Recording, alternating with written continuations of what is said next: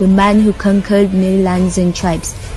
A Eregnum which holds the scepter and crown, the land of epitome beauty, for the soul is not barren and the sky is full of essence, a land of desideratum, a ground of harmonious conglomeration, for it caresses the soul with absolute trust. Ever heard of the land that will penetrate your mind and heart with freedom and jollity? Adamawa, a land of ardent citizens, a land of serenity. This part of the universe enrobes its youth in its sumptuous and full heart. Ever heard of a plate that batters the habitats in the richdom of fresh milk? For it is a place of epitome purity, with beauty at its peak, cattle at their prodigal numbers, with grain at its summit.